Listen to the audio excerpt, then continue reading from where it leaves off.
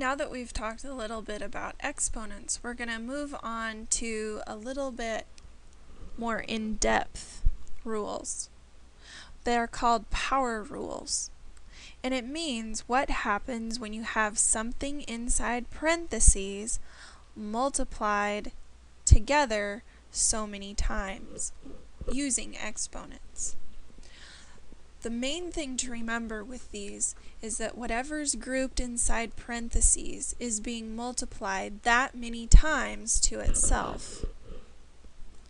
So a times b raised to the third is the same as a times b multiplied to itself three times.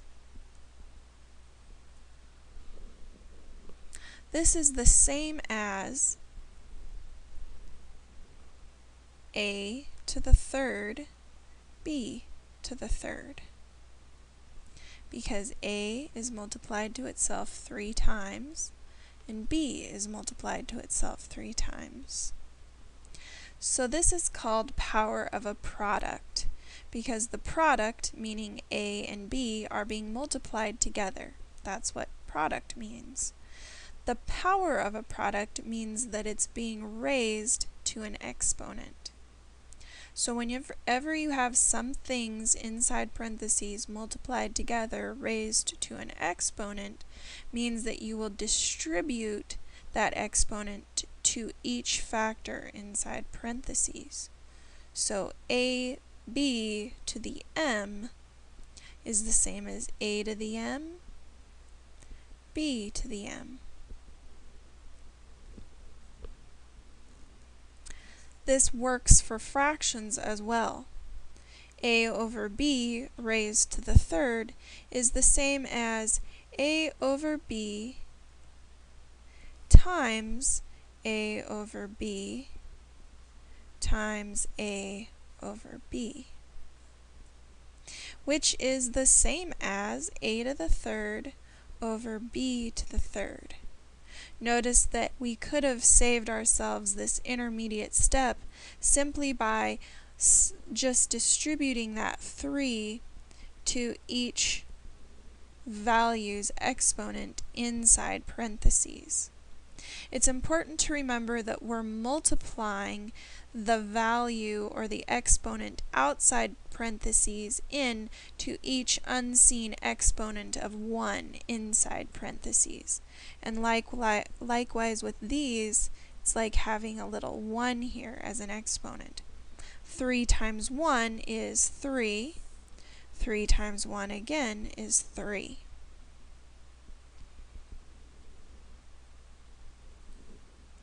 So, power of a quotient is the same as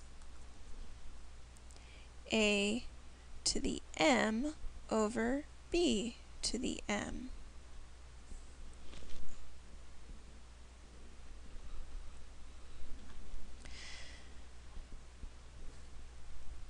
Looking at this problem here, you notice that we have a, a base raised to an exponent all raised to an exponent. This is the same as a to the second multiplied to itself three times. It's the same as a times a times a times a times a times a, which is actually a to the sixth. If we know that when we multiply a power raised to a power, we're going to get the product of the powers, we can move on to the power of a power rule, which says that a to the m raised to the n is the same as a to the m times n. And what that means, looking back at this problem, Notice that if I just took a to the 2 and multiplied it to 3, I would get exactly what I got here, which is a to the 6th. Let's work some examples.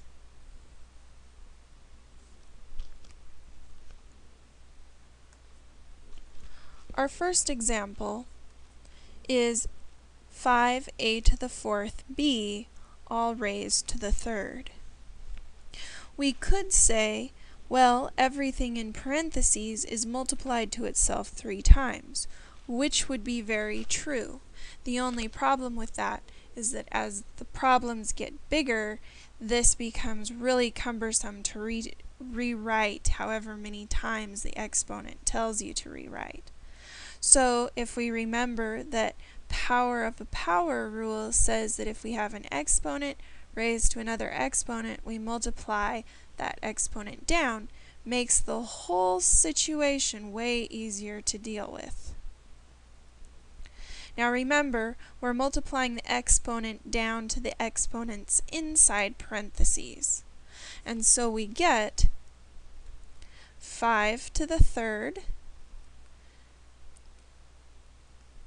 and remember it's 5 to the third because it's 5 to the first times the exponent, a to the fourth times the exponent on the outside, and b to the first times the exponent on the outside. This simplifies to 5 to the third, a to the twelfth, b to the third. Another way you could write this in its completely simplified form and how most most people in mathematics expects you to finish it off is 5 times 5, which is 25, times 5, which is 125, a to the 12th, b to the third. And this would be our final answer.